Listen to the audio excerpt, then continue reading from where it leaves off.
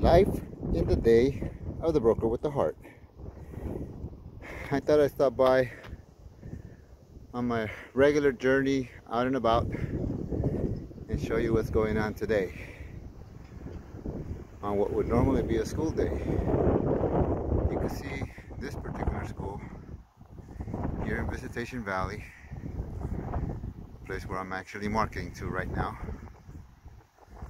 San Valley, an area where prices are for a fixer-upper in the 800 range for something like that you're looking at about a million dollars. But from this school at least you can have a beautiful view. Again I'm sharing this with you because this is my out and about day and I am doing my regular routine. Looking for properties that might be of interest to you. If you're looking for first-time buyer programs if you're looking for condominiums if you're looking for single families if you're looking for fixers if you're looking for multiple units if you're looking for commercial even if you're looking for business opportunities I could help you.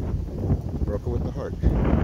Mario look me up. Maxmyhouse.com or call me 650 746 4607 I'm working on a new listing but in the meantime we're marketing for other fine opportunities for you again throughout San Francisco, throughout the Bay Area, throughout California.